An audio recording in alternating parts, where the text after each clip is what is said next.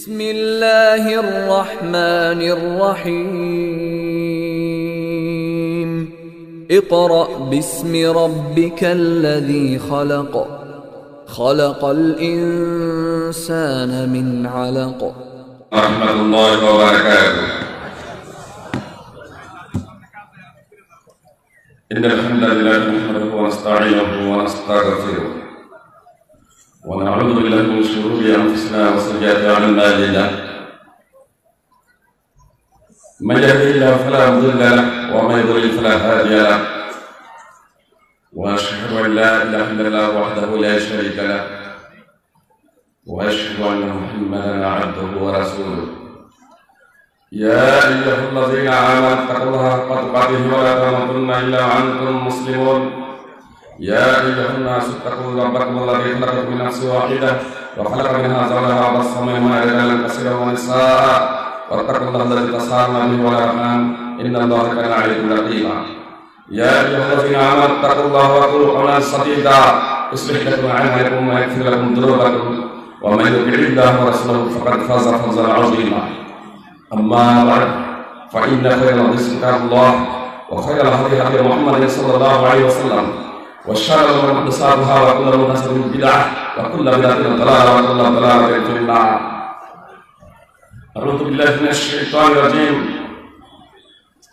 فإن آمنوا بمثل ما آمنتم به فقد اهتدوا وإن تولوا فإنما هم في شقاق. وقال الله تعالى في موضع آخر فليحذر الذين يخالفون عن أمره أن تصيبهم فتنة أو يصيبهم عذاب أليم شرط صوت حسين ওলামায় কেরাম সুপ্রিয় ভাই ও বন্ধে জানায় আন্তরিক শুভেচ্ছা ও অভিনন্দন আপনাদের সম্মুখে খুরবায় মাসুনার পরে পবিত্র কোরআন থেকে দুটি আয়াতের অংশ বিশেষ তেলাবাদ করেছি।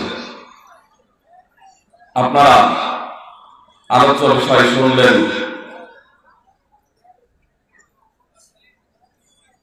মুসলিমদের বর্তমান অবস্থা এবং তা থেকে উত্তরণের পথ। আমি সকালে দাসে কোরআন পরিবেশন করতে গিয়ে একটা কথা বলেছিলাম।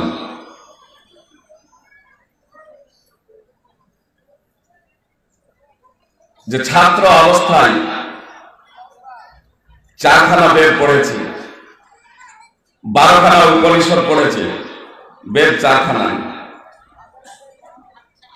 উত্তরায়ণ পঞ্চম বেদ বলে উল্লেখ করা হয়ে থাকে, কিন্তু হিন্দুরা তা মানে না। বারোখানা উপনিষদ পড়েছি, অনেকগুলো পুরাণ পড়েছি, রামায়ণ, মহাভারত, রামচরিত মাস, সঞ্জীবিনী, গীতা, মনু, সংহিতা কিন্তু যখন ইসলাম সম্পর্কে জানলাম, ইসলামকে একটু বুঝলাম, তখন সেই জিনিসগুলো ছেড়ে দিয়েছি। বাইবেলের ওল্ড টেস্টামেন্ট পড়েছি নিউ টেস্টামেন্ট পড়েছি। অমুসলিমদের কাছে দাওয়াত দেওয়ার জন্য যাই গির্জাতেও যাই মন্দিরেও যাই চার্চেও যাই কিন্তু সেখানে গিয়ে মন্ত্র, শ্লোক আর বাইবেল পরিবেশন করি না। কারণ মোহাম্মদ সাল্লাহ ইসলামের আদর্শ ছিল পবিত্র কোরআন তেলাওয়াত করে তাদেরকে দাওয়াত দেওয়া, যে আল্লাহ তাআলা মুহাম্মদ সাল্লাল্লাহু আলাইহি ওয়াসাল্লামের গুণাবলী হিসেবে পবিত্র কোরআনের একাধিক জায়গাতে উল্লেখ করেছেন। আজকে এই সংক্ষিপ্ত পরিসরে আপনাদের সম্মুখে আলোচ্য বিষয় নিয়ে আলোচনা করব। এজন্য আজকেও সেই সমস্ত কথাগুলো আপনাদের সম্মুখে আলোচনা করব না। পবিত্র কোরআন এবং সুন্নাহ থেকে ইনশাআল্লাহ প্রচেষ্টা করব। মুসলমানদের বর্তমান অবস্থা কিন্তু সমস্যা একটা জায়গাতে সমস্যা একটা জায়গাতে যদি কোরআন এবং সুন্নাহ থেকে স্পষ্টভাবে সমস্যার সমাধান করা হয়, তাহলে সেটা আমরা অনেকে হজম করতে পারি না। বাস্তব বিষয়টা হলো, আমি যদি আদম আলী সালাম থেকে নিয়ে এক এক করে নবী রাসূলদের যাদের কথা আল্লাহ পবিত্র কোরআনে উল্লেখ করেছেন, বলতে শুরু করি যে তারা ভুল করেছিলেন, তাদের দ্বারা ভুল হয়েছিল। এমনকি সর্বশেষ রাসুল, সর্বকালের সর্বশ্রেষ্ঠ মহাত্মা মহাপুরুষ, এমনকি নিয়ামত দিবসেও তিনি নবী রাসুলদের ইমাম হবেন। শ্রেষ্ঠতম রাসুল মহাত্মা মহাপুরুষ মোহাম্মদ সাল্লাল্লাহু আলাইহি ওয়াসাল্লাম। যদি বলি যে মোহাম্মদ সাল্লাল্লাহু আলাইহি সাল্লামের ভুল হয়েছিল, তখন কিন্তু আমাদের কারও মাথা ঘুরে না। সবাই হ্যাঁ মোহাম্মদ সাল্লাল্লাহু আলাইহি সাল্লামের ভুল হয়েছিল। সর্বকালের সর্বশ্রেষ্ঠ মহামনীষী ক্রিয়ামতেও যিনি ইমাম হবেন নবী রাসূলদের খতিব হবেন, তার ভুলকেও আমরা স্বীকার করে নিলাম। কিন্তু স্পষ্ট ভাবে যদি মুসলিমদের পর্যালোচনা শুরু করি, মুসলিমদের পর্যালোচনা শুরু করি, তাহলে আমাদের সমস্যা এটাকে আমরা আর হজম করতে পারি না, জানি না। আমাদের নেতা, আমাদের বক্তা, আমাদের পীর আমাদের মুক্তি, আমাদের ইমাম কি? রসুল্লাহ সাল্লামের ঊর্ধ্বে ভাই সকল, কথাটা আমাকে অত্যন্ত দুঃখ, ব্যথা এবং বেদনা নিয়ে বলতে হচ্ছে। তবে আপনাদের স্পষ্ট বলে যাই যে আপনারা যদি আমার কথাতে, আমার কোনো কথাতে রাগ করেন, আমার কোনো কথাতে রাগান্বিত হন আমাকে যদি গালি দেন, আমাকে যদি মারেন, প্রহার করেন, এর জন্য আমার কোনো যায় আসে না। তাহলে একটা কথা আপনাদের বলব যে আপনারা সোলেমান আলী সাল্লামের সমকক্ষ নন আর আমি হুবহুব পাখি থেকে ছোট নই। বিষয়টা হয়তো বুঝে এলো না। হুবহুব পাখি একদা সোলেমান আলী সাল্লামকে বলেছিল আহাত্ম বিমা নাম কহিতবি আমি এমন একটা সংবাদ নিয়ে এসেছি যা আপনার জানান নেই। সোলেমান আলী সালাম আমাদের মতো অল্প বিদ্যার অধিকারী ছিলেন না। তিনি রাগান্বিত হলেন না।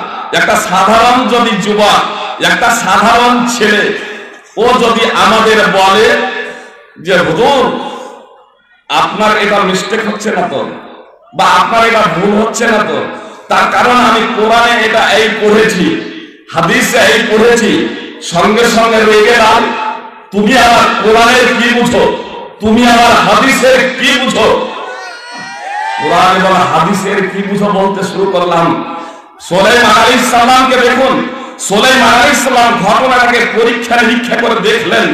পরীক্ষা নিরীক্ষা করে দেখতে গিয়ে দেখলেন যে সত্যি হুদুদ যে সংবাদটা দিয়েছে, সেই সংবাদটা আমার জানা ছিল না।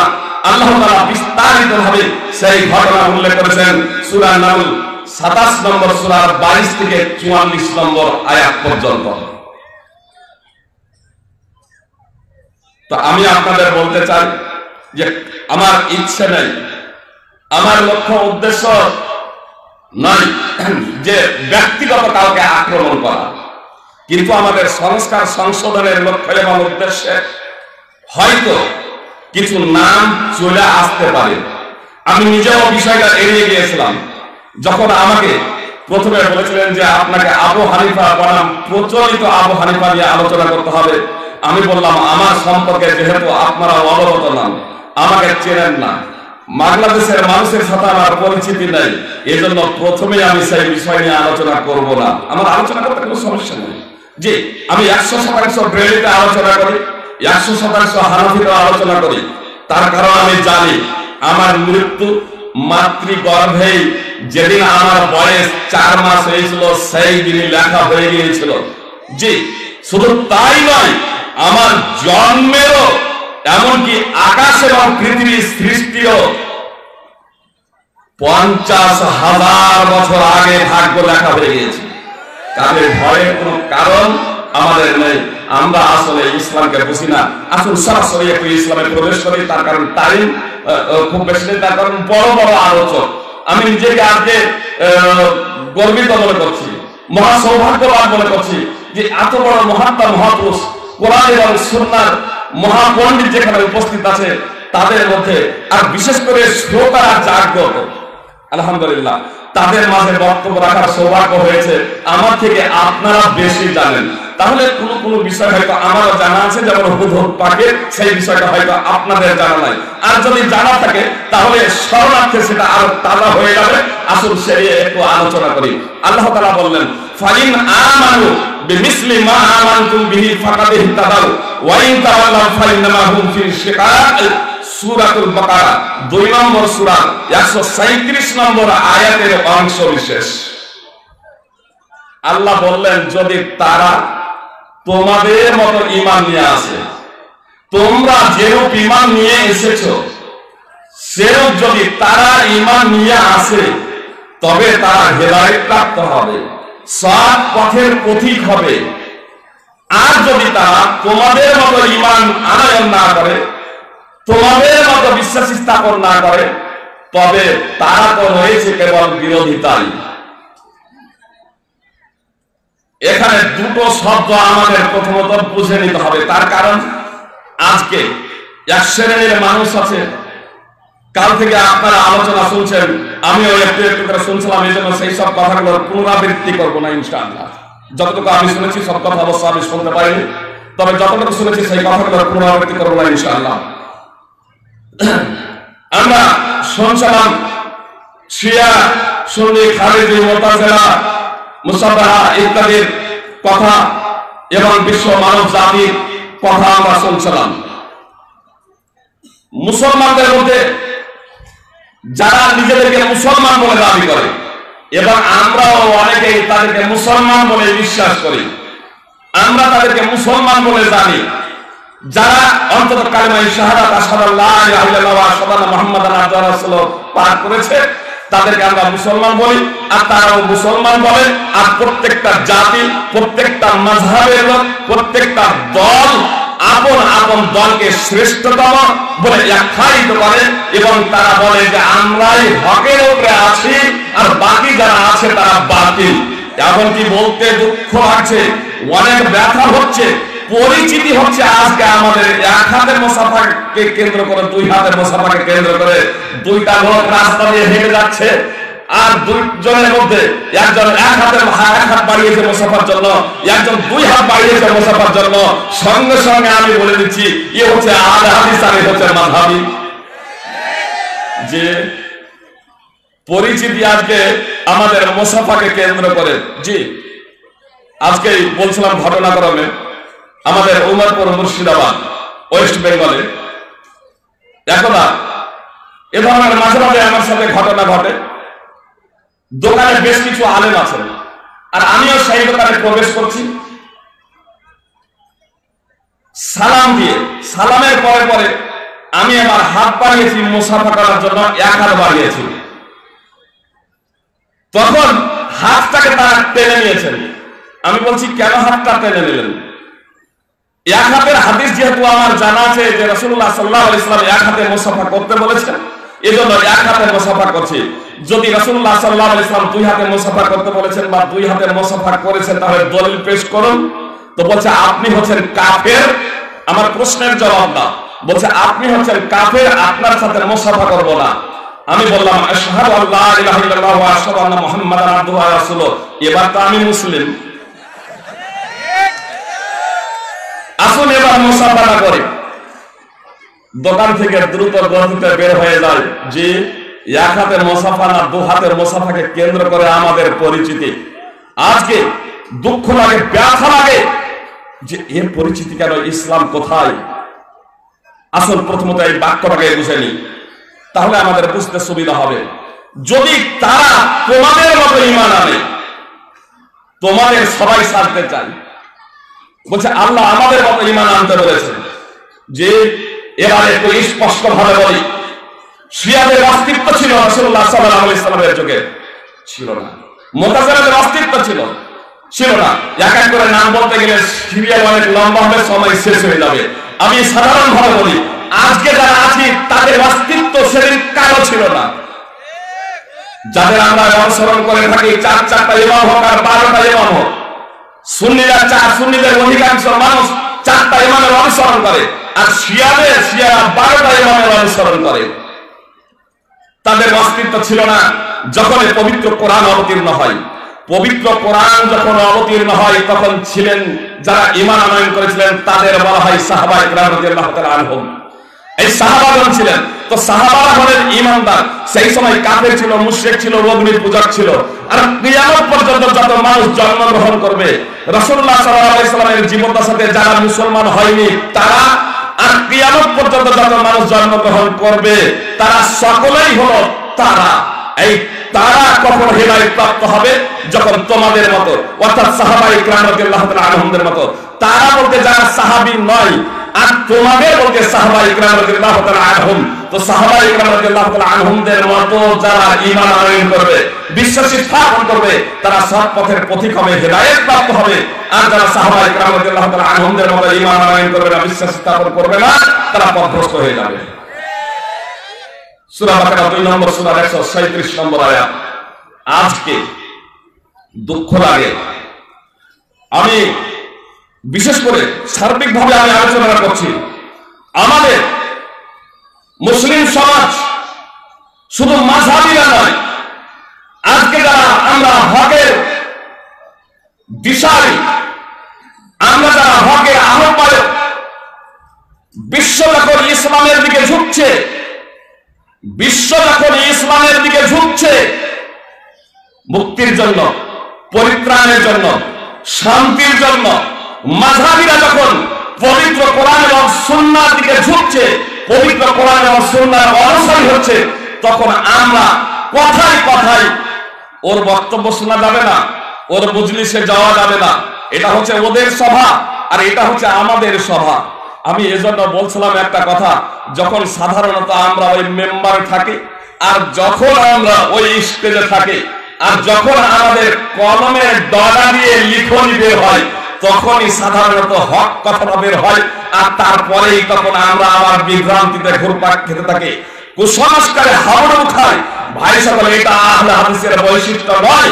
এটা সালাফির বৈশিষ্ট্য নয়। এটা প্রকৃত মুসলিমের বৈশিষ্ট্য নয়। পবিত্র কোরআন এবং সুন্নাহর অনুসারে এটা গুণাবলী নয়। জি সহিহ বুখারীতে হাদিস আছে। সহিহ বুখারীতে হাদিস আছে যে আনাস রাদিয়াল্লাহু তাআলা আনহুকে প্রশ্ন করা হচ্ছে যে আনসার নামটা আপনারা নিজেরা রেখে নিয়েছেন না আল্লাহ রেখেছেন আনসার? তো আনাস রাদিয়াল্লাহু তাআলা বলছেন যে আল্লাহ তাআলা নাম রেখেছেন।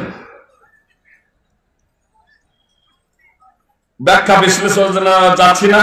আমার আগের আগে ডক্টর ইমাম হোসেন সাহেব বক্তব্য রাখতে গিয়ে সূরা তওবা 9 নম্বর সূরার 100 নম্বর আয়াত তেলাওয়াত করেছিলেন। আউয়ালুনা মিনাল মুহাজিরিন ওয়াল আনসার মুহাজির এবং আনসার নামটা স্বয়ং আল্লাহ রেখেছেন। কি বললেন? বুঝলেন কি? মুহাজির এবং আনসার নামটা মানুষের দেওয়া নয়, স্বয়ং আল্লাহ তাআলা প্রদত্ত। শুধু মুহাজির এবং আনসারদেরই আল্লাহ জান্নাতে দিবেন তাই নয়, যারা একনিষ্ঠতার সাথে তাদের অনুসরণ করবে তাদেরকে আল্লাহ জান্নাতে দিব এই কথা ঘোষণা করেছেন। আর তারপরে বিষয়টাকে বোঝার প্রচেষ্টা করুন একদা। এক মহাজির এক আনসারি ভাইয়ের নিতম্ভে আঘাত করে, পাছাতে আঘাত করে। তখন আনসারি ডাকলেন আনসার, হে আনসারি ভাইরা সাহায্যের জন্য এগিয়ে এসো মহাজির ভাই বলল ইয়াল মুজাহিরিন মহাজির ভাইগণ, সাহায্যের জন্য এগিয়ে এসো রাসূলুল্লাহ সাল্লাল্লাহু আলাইহি সাল্লাম এই ভাষা দেখে বলেছিলেন, এই আহ্বানটা দেখে বলেছিলেন, মা বালো দাওয়াতির দাওয়াত জাহেলিয়া, মা বালো দাওয়াত জাহেলিয়া, এ জাহেলি যুগের আহ্বান কেন? এ জাহেলি যুগের আহ্বান কেন? ডাক দিচ্ছেন আনসার বলে, ডাক দিচ্ছেন মহাজির বলে, যে আনসার এবং মহাজির সাহাবাই কামদের নাম স্বয়ং আল্লাহ রেখেছেন। ডাক দিচ্ছেন আনসার বলে, ডাক দিচ্ছেন মহাজির বলে। আল্লাহ রাসূল সাল্লাল্লাহু আলাইহি সাল্লাম বললেন যে, এটা হলো জাহিলি যুগের আহ্বান। দারুহা আনসার আর মহাজির এই ডাক, এই সম্বোধন ছেড়ে দাও। ফাইন্নাহ মুমকিনা, এটা হলো দুর্গন্ধময় কথা। সহি বুখারী হাদিস নম্বর 2957 সহি মুসলিম হাদিস নম্বর 2584 ভাই সকল, যে নাম স্বয়ং আল্লাহ তাআলা দিলেন সাহাবাদের আনসার এবং মহাজির সেই নাম ধরে যখন আহ্বান করছে, একটা ঘটনাকে কেন্দ্র করে সঙ্গে সঙ্গে মোহাম্মদ সাল্লাহ আলি সাল্লাম বলছেন, এই আহ্বান একে কেন্দ্র করে করা যাবে না। হক কে অংশগ্রহণ করে আসলে বাস্তব বিষয়টা কি ছিল? একজন একজনকে মেরেছে। তার জন্য হক সত্য মিথ্যা বিষয়টাকে পর্যালোচনা না করে যাচাই বাছাই না করে আপন আপন সম্প্রদায়কে ডাক দিচ্ছেন। আর এই কথাটাকে আহ্বান। আমরা বলছি, আমরা হলাম উমুকের সমর্থক। কে বলছে উমুকের সমর্থক? আরে ভাই, যার সমর্থনের কথা, তোমার সমর্থনের কথা, তোমার ইমামের কথা, তোমার নেতার কথা, তোমার আমিরের কথা, আল্লাহ তাআলা তো একবারও উল্লেখ করেন নেই কেউ কেউ বলবেন, কি বলছেন ভাই? উল্লেখ করেননি মানে? আল্লাহ তাআলা বলছেন, ইয়া আইয়ুহাল্লাযীনা আমানু আতিউল্লাহ ওয়া আতিউর রাসূলা ওয়া উলিল আমরি মিনকুম। ফাইন তানাযাতুম ফি শাইইন ফারুদ্দুহু ইলা আল্লাহি ওয়া রাসূলিহি ইন কুনতুম তু'মিনুনা বিল্লাহি ওয়াল ইয়াউমিল আখির। হে ঈমানদারগণ, তোমরা আল্লাহর আনুগত্য করো। রাসূলের আনুগত্য করো। এবং তোমাদের মধ্যে যারা নির্দেশদাতা, অর্থাৎ ইসলামী শাসক যদি এটাকে ব্যাপকতা প্রদান করা হয় কোনো কোনো আলেম বলেছেন যে আলেম ওলামা যারা সরকারের আদেশ এবং অসরকারের বাধা প্রদান করে, তাদের আনুগত্য করো। বিষয়টা প্রথমত জেনে রাখুন। প্রথম নম্বরে আতিউ শব্দটা একবার উল্লেখ করেছেন, আল্লাহর আনুগত্য করো। দ্বিতীয়বার আতিউ শব্দ আনুগত্য করার আগে আবার উল্লেখ করছেন। উলিল আমরের ক্ষেত্রে কিন্তু আতিউ শব্দ আবার উল্লেখ করছেন না। কেন? উলিল আমরে তোমাদের মধ্যে যারা নির্দেশদাতা যদি ধরে নেওয়া হয় ব্যাপক যারা সরকারের বাধা প্রদান করে। তবু এটা স্বার্থ স্বার্থের সাথে সম্পৃক্ত। স্বার্থের সাথে সম্পৃক্ত কতক্ষণ পর্যন্ত তার কথা শোনা যাবে? ইসলামী শাসকের কতক্ষণ পর্যন্ত কথা শোনা যাবে? আলে কতক্ষণ পর্যন্ত কথা শোনা যাবে? যতক্ষণ পর্যন্ত তাদের কথাগুলো কোরআন এবং সুন্না অনুযায়ী হবে। তার কারণে আগে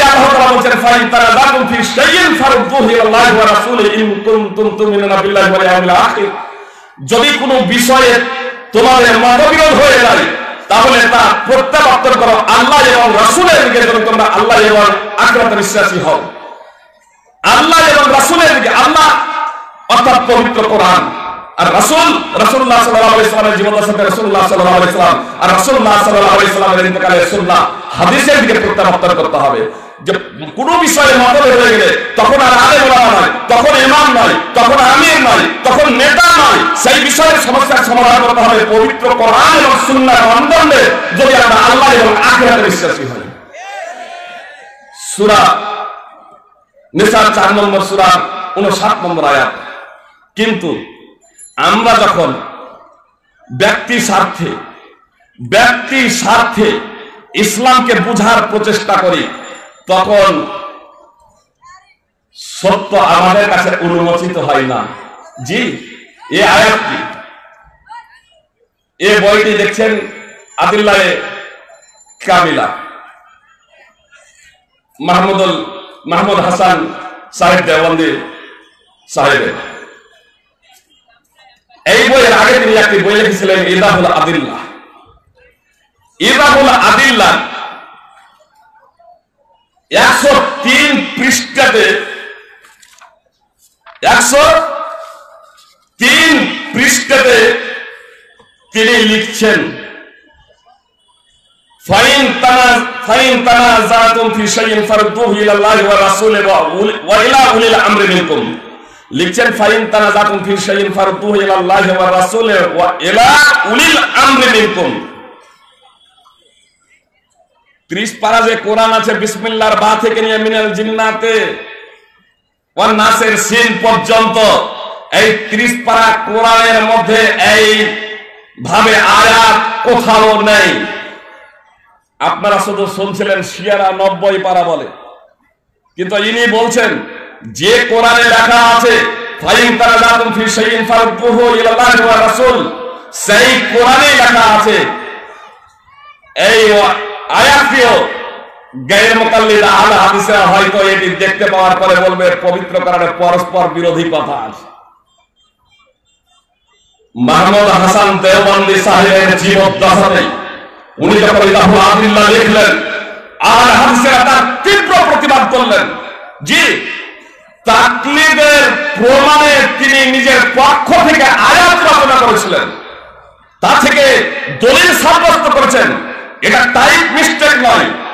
এটা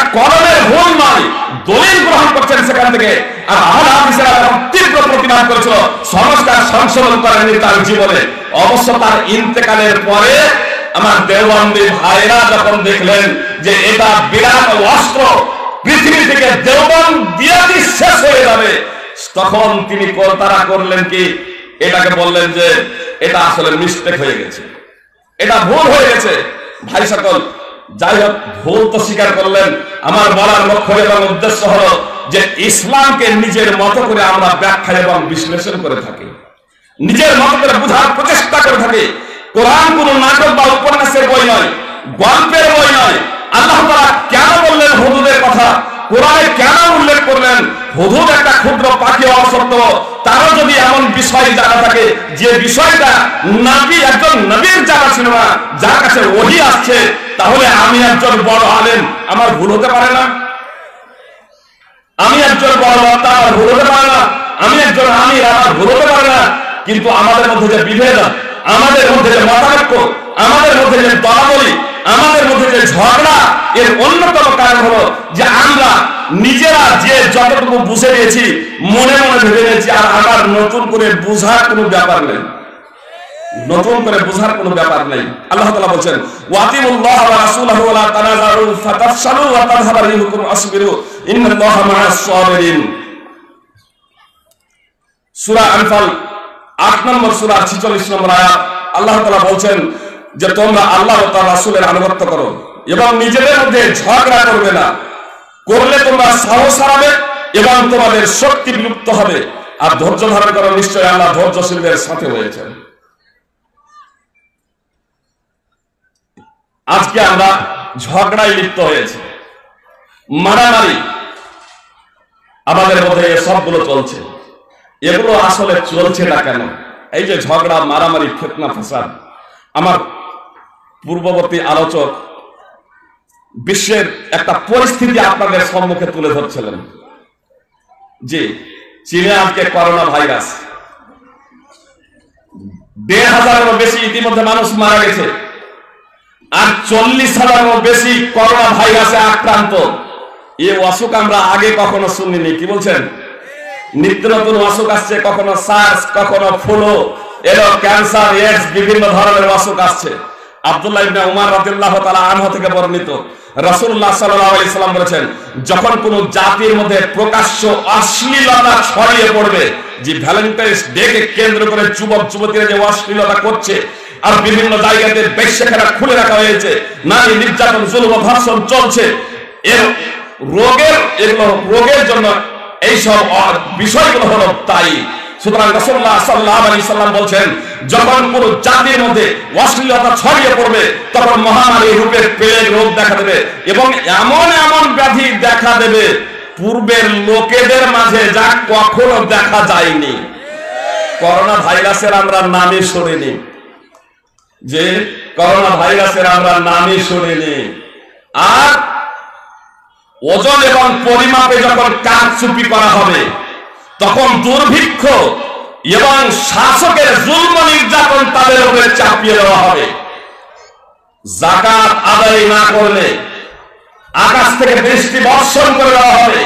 যদি চতুষ্পদ জন্তু না থাকতো, প্রাণী না থাকতো, তাহলে আর আকাশ থেকে বৃষ্টি বর্ষণ করা হতো না। নম্বর চার নম্বর চার ওয়ালাম ইয়ানকুদু আহাদাল্লাহি ওয়া রাসূলিহি ইল্লা সাল্লাল্লাহু আলাইহি আদুওয়াম মিন গায়রিহিম। যখন কোন জাতি আল্লাহ এবং তার রাসূলের অঙ্গীকার লঙ্ঘন করবে, তখন আল্লাহ তাআলা তাদের উপরে বিজাতীয়কে শাসক বানিয়ে দেবেন। আজকে সারা বিশ্বে নেতৃত্ব দিচ্ছে কে? সারা বিশ্বে। আমেরিকা। যে সারা বিশ্ব আমেরিকা। আল্লাহ বলছেন, যখন কোন জাতি আল্লাহ এবং রাসুলের চুক্তি লঙ্ঘন করবে, তখন আল্লাহ তারা তাদের উপরে বিজাতীয়কে দুশ্মনদের, এই দুশ্মনদের শাসক বানিয়ে দেবেন, তাদেরকে ক্ষমতাসীন করবেন বলবেন যে ভাই, এটা কেন? ব্যাখ্যা বিশ্লেষণ দেওয়া তো সম্ভব নয়, খুব ছোট্ট করে বলি। এটা হচ্ছে একটা প্রতিষ্ঠান। মনে করুন আমি এই প্রতিষ্ঠানের শিক্ষক। এই প্রতিষ্ঠানের শিক্ষক হিসেবে, এই প্রতিষ্ঠানে যে সমস্ত ছেলেগুলো পড়তে আসবে, ছেলে মেয়েগুলো, যদি বকাঝাকা করি তাদেরকেই করব। বা আমরা প্রত্যেকেই গার্জেন হিসেবে, আমার ছেলে যদি পড়াশোনা না করে, তাহলে আমার ছেলেকে বকাঝাকা প্রয়োজনে মারধর করব। কি বলছেন? আমার বাড়ির পাশের যে ছেলে মেয়েটা আছে, সারাদিন যদি ধুলোয় গড়াগড়ি করে, তাকে মারবো? মারা তো দূরের কথা বকা ঝাঁকাও নাই। তো কি, আমি কি আমার পাড়ার ছেলেগুলোকে আমার ছেলে মেয়ে থেকে বেশি ভালোবাসি? কি বলছেন? তাহলে আমার ছেলেকে মারলাম কেন? আরে কালেমাই শাহাদাত করেছ, জান্নাতে যাওয়ার স্বপ্ন দেখছ, জান্নাতে যাওয়ার স্বপ্ন দেখছ। চুক্তি লঙ্ঘন আল্লাহ এবং রাসূলের কি? কালেমাই শাহাদাত সাল্লাল্লাহু আলাইহি ওয়া সাল্লাম মুহাম্মাদান আবদুর রাসূল পড়েছে। ইবাদত হবে একমাত্র আল্লাহ বিধান চলবে একমাত্র আল্লাহ আল্লাহ ব্যতীত প্রকৃত উপাস্য নেই এর তাৎপর্য কি? আল্লাহ ছাড়া কারও বিধান চলবে না। আল্লাহ ছাড়া কারও দাসত্ব চলবে না। আর পদ্ধতি হবে একমাত্র মোহাম্মদ সাল্লাল্লাহু আলাইহি সাল্লামের। কালেমায়ে মাধ্যমে এই অঙ্গীকার করেছি, এই চুক্তি করেছি। আর তারপরে নামাজ রোজা হজ, যাকাত সেগুলো তো পূর্ণ মোহাম্মদ সাল্লাল্লাহু আলাইহি সাল্লামের আনুগত্য নয়। শেখ বেদাত, আর তারপরে অন্যান্য যে সমস্ত বিষয় আছে, সেই সমস্ত বিষয়ে তো আমাদের পুরো অনসামিক সংস্কৃতিতে আমরা জর্জরিত আমাদের উপরে বিজাতীয় আল্লাহ যারা দুশ্মন, আল্লাহ যারা দুশ্মন, তাদেরকে আল্লাহ তারা শাসক করবেন না। তাদেরকে কেন? তারা তো জাহান্নামের পথেই আছে। মরলেই জাহান্নাম ওই অবস্থায় যদি মরে, কোথায় যাবে? মরলেই জাহান্নাম ওই অবস্থায় যদি মরে যায় জান্নাতে যাওয়ার প্রশ্নই আসে না। কিন্তু আমরা যারা জান্নাতে যাব, তাদেরকে আল্লাহ তাআলা ভালোভাবে বাছাই করবেন। পবিত্র কোরআনের এক চিত্র বিভিন্ন ভাবে আল্লাহ তাআলা অঙ্কন করেছেন। পবিত্র কোরআন যখন অবতীর্ণ করেন, এই পবিত্র কোরআনে আমাদেরই বর্ণনা আছে। আমরা পবিত্র কোরআন অধ্যয়ন করি না। পবিত্র কোরআন পড়ি না। যে আল্লাহ তাআলা বলেন লাকাদ আনসালনা ইলাইকুম কিতাবান ফিহি যিকরুকুম আফালা তাআকিলুন আমি তোমাদের কাছে একখানা গ্রন্থ অবতীর্ণ করেছি। যে গ্রন্থে তোমাদেরই আলোচনা আছে, তোমাদেরই বর্ণনা আছে। তোমরা কি উপদেশ গ্রহণ করবে না? সূরা আম্বিয়া 21 নম্বর সূরা 10 নম্বর আয়াত, পবিত্র কোরআনে আমাদেরই আলোচনা আছে। পবিত্র কোরআন যখন আল্লাহ তাআলা অবতীর্ণ করেন, তখন মানুষের স্তর, মানুষের শ্রেণি বিন্যাস ছিল। এক শ্রেণির মানুষ ছিল, যখন তাদেরকে বলা হতো, আল্লাহ যা অবতীর্ণ করেছেন, সেই দিকে এসো। তখন তারা নিজেদের দোহাই দিত। সুরা বাকারা, দুই নম্বর সুরা, একশো সত্তর নম্বর আয়াত এবং সুরা রহমান, একত্রিশ নম্বর সুরা, পঁচিশ নম্বর আয়াত। দ্বিতীয় শ্রেণির মানুষ ছিল, যারা গ্রন্থে পরিবর্তন পরিবর্ধন করত।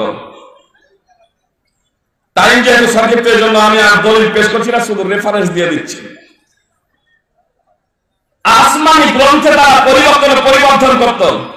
এবং তারা বলতো না। আমরা শুনলাম আল্লাহর কথা। ওহির কথা শুনলাম। আমরা মানতে পারব না। একবার প্রকাশ্য ডিক্লিয়ার সুরা নেশা চার নম্বর সুরা, ছিচল্লিশ নম্বর আয়াত। আর তৃতীয় শ্রেণির মানুষ যারা বলতো যে, আমরা ইমান এনেছি। আমরা ইমান এনেছি। আল্লাহ তালা বলছেন যে এবং পবিত্র এবং অপবিত্রকে একসাথে রেখে দেব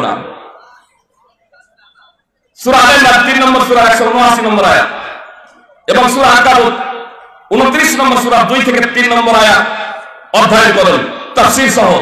শুধু ইমান কথা বললে না। না পরীক্ষা নিরীক্ষা করা হবে। পূর্ব বক্তৃদের পরীক্ষা নিরীক্ষা করা হয়েছিল ইমান এনেছি এ কথার ভিত্তি থেকে সত্যবাদী আর কে মিথ্যাবাদী, আল্লাহ এটা প্রকাশ করে দিতে চান। সুতরাং আল্লাহ যখন প্রকাশ করতে যখন শুরু করলেন, বিধিবিধান অবতীর্ণ করতে শুরু করলেন, তো ইমান এনেছি এই জায়গাতে, এই শ্রেণির মধ্যে আবার দুই ক্যাটাগরির, দুই শ্রেণির মানুষ বের হয়ে গেল। একটা হলো আসল মুসলমান আর একটা হলো নকল মুসলমান। নকল মুসলমানের পরিচয় আল্লাহ তাআলা তুলে ধরেছেন। সূরা নূর 24 নম্বর, সূরা 47 থেকে 50 নম্বর আয়াত। ইসলামের বিধান এরা মানে। এরা বলে আল্লাহ এবং রাসূলের আনুগত্য করলাম। আর ইসলামের বিধান এরা মানে। আল্লাহ এবং রাসূলের আনুগত্য করে। যা তাদের মনোপুত হয়। তাদের চাহিদা, বিবেক, তাদের প্রবৃত্তির অনুকূলে যা হয় সেগুলো তারা মানে। আর অন্যথায় তারা প্রত্যাখ্যান সেগুলো মানে না। আজকে আমাদের কাছে এটা আমাদের জন্য না। এটা ওদের হাদিস। জানে না তা পড়ছেন। নাসিরুদ্দিন চাঁদপুর মানব কেন তার চল্লিশ পৃষ্ঠাতে লিখছেন? ইমাম মুস্তাহিদের রায়ের খেলাফ। যদি রসুল্লাহ সাল্লামের হাদিসও চলে আসে, তবে সাধারণ আলেমদের জন্য ইমামের রায় ছেড়ে হাদিসের উপর আমল করার অধিকার নেই। কি বলছেন? রসুল্লাহ সাল্লামের হাদিসও যদি চলে আসে ইমামের রায়ের বিপরীতে, তো ইমামের রায়েরই অনুসরণ করতে হবে রসুল্লাহ সাল্লামের হাদিসের নয়। ঐক্যবদ্ধ হবে কীভাবে? একত্রিত হবে কীভাবে? জি, বিষয়টাকে একটু ভাববেন এই বিষয়টিকে নিয়ে। যারা বলেন, অনেকেই কেউ কেউ বলে, উদারতার উদারতা নিয়ে আরে কালেমাই শাহাদাত পড়েছে। যে কালেমাই শাহাদাত পড়েছে, সেই মুসলমান। এত ফতোয়াবাদী কেন? ও কাফের, ও মুশরিক, এত ফতোয়াবাদী কেন? অনেকে এই কথা বলে থাকে, উদারতা। উদারতা! এ উদারতা দাবি নিয়েই তো মক্কার মুশরিকরা রাসূলুল্লাহ সাল্লাল্লাহু আলাইহি সাল্লামের দরবারে এসেছিল। মুহাম্মদ সাল্লাল্লাহু আলাইহি সাল্লাম। আপনি যে আল্লাহর ইবাদত করার কথা বলছেন যে সমস্ত দেবী দেবতাকে বিসর্জন দিয়ে একমাত্র আল্লাহর দাসত্ব করতে হবে গোলামি করতে হবে। এক বছরের জন্য আমরা এটা মেনে নিলাম। দ্বিতীয় বছরের জন্য আমাদের দেবী দেবতাগুলোকেও তো একটু সুযোগ দেন। আল্লাহ তালা এই প্রেক্ষাপটেই তাদের এই প্রচলিত উদারতা, আসলে এটা সংকীর্ণতা, তাদের বিরুদ্ধে আল্লাহ তালা একটা সুরায় অবতীর্ণ করে দিলেন, সুরাতুল কাফের একশো নয় নম্বর এক থেকে ছয় নম্বর আয়া যে এ উদারতা চলবে না। আমি শুধু শিয়াদের প্রেক্ষাপটে একটা কথা বলতে চাই। যখন শিয়াদের প্রেক্ষাপটে ওলামায়ে কেরাম বাস্তব চিত্র তুলে ধরেন, তখন অনেক সুন্নিরা বলে কথা বলে। অনেক সুন্নিরা যারা নিজেদেরকে মুসলমান বলে, যারা শিয়া নয়, তারাও বলে। আরে অতীতের বইপত্র ছাড়েন তো বর্তমানের বইপত্রের কথা বলেন। বর্তমান হলো বিপ্লবী। এরা Ayatollah Khomeini Ruhul Ayatollah Khomeini যিনি উনিশশো উননব্বই সালে মৃত্যুবরণ করেছেন। তার তার বিখ্যাত বই, তার বিখ্যাত বই, অনেকগুলো বই লিখেছেন তার মধ্যে অন্যতম বই হলো আল হুকুমাতুল ইসলামিয়া। বেশি রেফারেন্স দিচ্ছি না, শুধু একটা রেফারেন্স আপনাদের সম্মুখে তুলে ধরছি। আপনারাই মূল্যায়ন করবেন, আমার ফতোয়া দেওয়ার প্রয়োজন নেই। একটা বিষয় আপনাদের বলে রাখি। আমার ফতোয়ার কারণে আল্লাহর দপ্তর কাটা যাবে না। আমার ফতোয়ার কারণে আল্লাহর বিধান পরিবর্তন হবে না। এজন্য আমার, আমি ফতোয়া দাদা কে? একটা শুধু বিষয় এখানে জেনে রাখুন। আয়াতুল্লাহ খোমেনি যিনি বিংশ শতাব্দীর বিপ্লবী নেতা, যাকে বিপ্লবী নেতা হিসেবে অনেক মুসলমানরা খাইতে করছে এবং ষড়যন্ত্রের শিকার হয়ে যাচ্ছে, তিনি এই হুকুমাতুল ইসলামিয়ার তৃতীয় সংস্করণের বাহান্ন নম্বর পৃষ্ঠা লিখছেন, মিন আন্না লি মালাকুম ওয়ালা মুরসাল। আমাদের মাযহাবের অন্যতম বিষয় হলো, কি লিখছেন? আমাদের অন্যতম আকীদা হলো, শিয়াদের অন্যতম আকীদা হলো। তিনি লিখছেন, আমাদের শিয়াদের অন্যতম আকীদা হলো যে আমাদের ইমামদের, বারো জন তাদের ইমাম, আমাদের ইমাম, ইমামদের এমন মাহাত্ম এবং মর্যাদা রয়েছে যে মাহাত্ম এবং মর্যাদা কোন ফেরেশতাও পেতে পারে না নিকটবর্তী ফেরেশতাও পেতে পারে না, কোন নবী রাসূলও পেতে পারে না। যে নবী রাসূলদের ঊর্ধ্বে, নবী রাসূলদের ঊর্ধ্বে। নাউজুবিল্লাহি মিন যালিক। সবাইকে উন্মুক্ত ভাবে আহ্বান জানাচ্ছি আসল পবিত্র কোরআন অধ্যয়ন করে। তাই নয়, আমি শেষ করছি আমার বক্তব্য শুধু এতটুকু বলি। শেষ অংশটুকু আব্দুল্লাহ আমাকে আমার চারটি বলেছিলাম। পঞ্চম নম্বর রসুল্লাহ সাল্লাহ আলি সাল্লাম বলছেন, ওয়ামা লাম তাহকুম আইম্মাতুহুম বিকিতাবিল্লাহি ওয়া ইয়াতাখায়য়ারু মিম্মা আনজালাল্লাহু ইল্লা জাআলাহু বাসাহুম বাইনাহুম।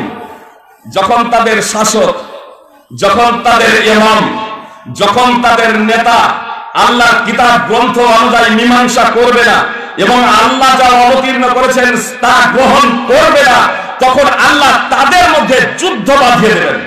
সুনানে ইবনে মাজা, হাদিস নম্বর চার হাজার উনিশ, সিলসিলাতুল হাদিস সাইয়া হাদিস নম্বর একশো ছয়। আজকে মুসলমানদের মধ্যে আপসে যুদ্ধ আছে না নেই? রাষ্ট্রে রাষ্ট্রের যুদ্ধ। শাশুড়ি বইয়ের যুদ্ধ, পিতা পুত্রের যুদ্ধ যায় ননদের যুদ্ধ, ভাই ভাই যুদ্ধ, এই আজকে আমাদের যুদ্ধ চলছে। ভাই সকল ব্যাখ্যা বিশ্লেষণ দেওয়া সম্ভব নয়, তাই প্রায় নাই বললেই চলে। শুধু এক- একটু আপনাদের আর দৃষ্টি আকর্ষণ করছি। আল্লাহ তাআলা বলেছিলেন, ওয়ালা তাহিনু ওয়ালা তাহজানু ওয়া আনতুমুল আ'লাউনা ইন কুনতুম মুমিনিন। তোমরা দুঃখিত হয়ে না। তোমরা হীন মনোভাব হয়ে না। তোমরা দুঃখিত হয়ে না। তোমরা বিজয়ী হবে যদি তোমরা ইমানদার হও। এই আয়াত কি আল্লাহ তাআলা অবতীর্ণ করেছিলেন বদর ওহুদ যুদ্ধের পরে পরে। ওহুদ যুদ্ধের পরে পরে। সূরা আলে ইমরান 3 নম্বর সূরা 139 নম্বর আয়াত তাফসীর সহ দ্রষ্টব্য। এখানে যেটা বলার লক্ষ্য উদ্দেশ্য হলো যে আল্লাহ তাআলা বলেন তোমরা হীন মনোবল হয়েও না, তোমরা দুঃখিত হয়েও না, তোমরাই জয়ী হবে যদি তোমরা ইমানদার হও। কাদেরকে সম্বোধন করে কথাটা বলেছিলেন? সাহাবায়ে কিরাম রাদিয়াল্লাহু তাআলা আনহুমদের তখন আমাদের অস্তিত্ব ছিল না। বললেন যে, যদি তোমরা ঈমানদার হও, তোমরাই জয় হবে। ছিলেন না। কেউ যদি সন্দেহ পোষণ করে, সে মুসলমানই নয়। অবশ্যই সাহাবায়ে কিরাম রাদিয়াল্লাহু ঈমানদার ছিলেন। তারপরেও আল্লাহ তাআলা এই কথা কেন বললেন? আর আল্লাহ যখন এই কথা বললেন, তখন সাহাবাই কেরাম বুঝে গেলেন যে আল্লাহ আমাদের কি বলতে চেয়েছেন। আসল ঘটনাটা হলো এই যে মোহাম্মদ সাল্লাল্লাহু আলাইহি সাল্লাম যুদ্ধে 50 জন সাহাবীকে একটি পাহাড়ের চূড়ায় নির্ধারণ করে দিয়েছিলেন। একটি পাহাড়ের চূড়ায় আব্দুল্লাহ নেতৃত্বে নির্ধারণ করে দিয়েছিলেন। এই কথা বলে যে আমাদেরকে যদি পাখিতে ছো নিয়ে যায়, কোন বর্ণনায় আছে, যদি আমাদেরকে টুকরো টুকরো করে দেওয়া হয় কেটে খন্ড খন্ড করে দেওয়া হয়। দ্বিতীয় বার্তা না দেওয়া পর্যন্ত তোমরা আমাদের সহযোগিতার জন্য নেমে আসবে না। আর যদি দেখো শত্রুদের পর্যবস্ত করেছি, তারা পরাজিত হয়েছে। তাদের গরিমতের গরিমত আমরা সংগ্রহ করছি যুদ্ধরত ধন সংগ্রহ করছি। তাহলে তোমরা আমাদের সঙ্গ দেবে না, দ্বিতীয় বার্তা না যাওয়া পর্যন্ত। মুসলিমদের জয় জয়কার ইসলামিক পতাকা উঠছে মুশ্রিকদের পতাকা ধুলোয় গড়াগাড়ি যাচ্ছে বহুলের যুদ্ধের প্রাথমিক অবস্থাতে মুশ্রিকরা যুদ্ধের ময়দান ছেড়ে পালাচ্ছে, তাদের ছেড়ে দেওয়া সম্পদ সাহাবাই গ্রাম সংগ্রহ করছেন, পাহাড়ের চূড়ায় যারা ছিলেন তারা আপসে বলাবলি করতে শুরু করলেন। আর কিসের অপেক্ষা? গরিমত কিসের অপেক্ষা? গরিমত ওই তীরের যিনি নেতা ছিলেন, আব্দুল বিন জুবাইর রাদিয়াল্লাহু তাআলা রাসূলুল্লাহ সাল্লাল্লাহু আলাইহি সাল্লামের ওয়ামিও বাণী